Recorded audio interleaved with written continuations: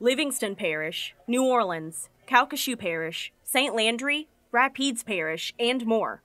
Lieutenant Governor Billy Nungesser is making his way around the state as part of the 36th annual National Travel and Tourism Week, a week that brings together communities throughout Louisiana and nationwide to showcase contributions that tourism brings to the economy, jobs, and quality of life. We're traveling all over Louisiana with our tourism partners, uh, talking about the importance of return on investment and what it means to local economies all over Louisiana, and uh, to get everybody excited about going forward and hopefully having some great numbers for 2018 that'll be out later this week. According to the Louisiana Department of Culture, Recreation, and Tourism, 47.1 million people visited the state in 2017.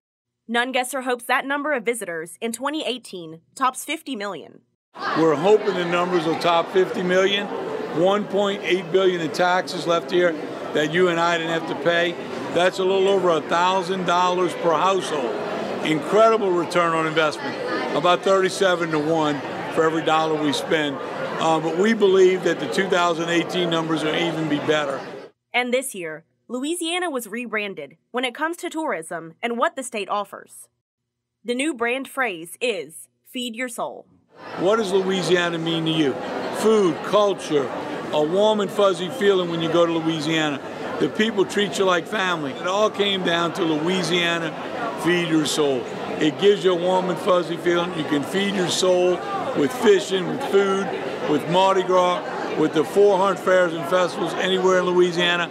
A great opportunity for us uh, to really get out there and get people excited about Louisiana. So much so, we were one of 18 award winners in New York recently for brands in the whole world. Lieutenant Governor Nungesser has four stops left on his tour of the state as the nation continues to celebrate National Travel and Tourism Week. Joanna Phillips, ABC 31 News.